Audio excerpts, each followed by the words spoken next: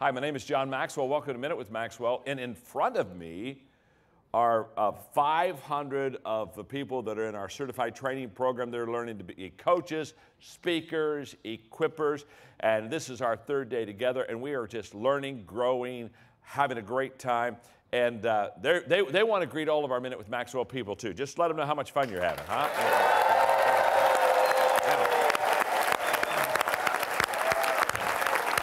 Absolutely.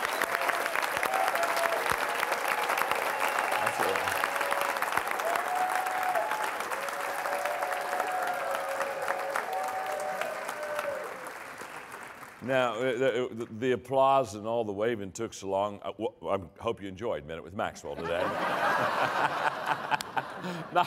no, and then I have right beside me the Keller Williams people.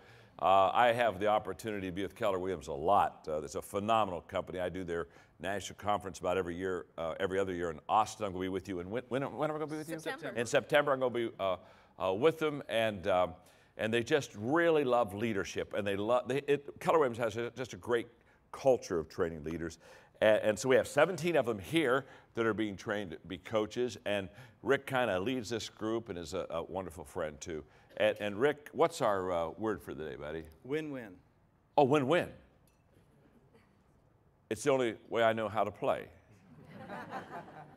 you see, when I was younger, I, I thought that the object of life was to win and someone else loses. But what I found is that when I win and you lose, and we do it again and I win and you lose, and we do it again and I win and you lose, we don't do it again. You, you see, there comes a time, always, that if you win and the other person doesn't, the relationship's gone. And I learned a long time ago if you have an abundance mindset, you can win win.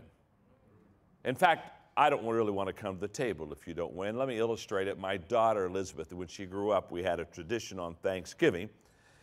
Oh, I've always cut the turkey and done the whole process, and I would find the wishbone. And I would dry it out, and late on that evening, I would get Eli, her name's Elizabeth, we call her Eli. I'd get Sissy and I'd say, honey, it's time for us to do the father daughter wishbone. And, so we, it would be dry at that time, and I would have looked at it well enough to know which side was the weaker. And so every year, she would win. And she'd look at me and say, Oh, Daddy, I, I won again. And I'd say, Oh, you did, honey. You, you won again. And then I'd look at her and I'd say, And I want you always to win. I always want you to win in life. And she's talked about that. She'll come back to me now as an adult and she'll say, Dad, I could always tell that you wanted me to win. Well, of course, I'm a father, daughter. Of course, every father would want their daughter to win. But it goes beyond that. I think that all relationships are based on win win.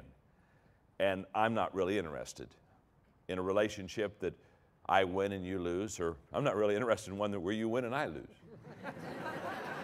so don't think I'm a wonderful guy. I don't want to lose either. You understand? But I do want to win, and uh, with the coaching organization and what we're doing, would you not agree on Minute with Maxwell? When you are on the John Maxwell team and you are a certified coach, would you agree it's win win? Yep. Thank you very much.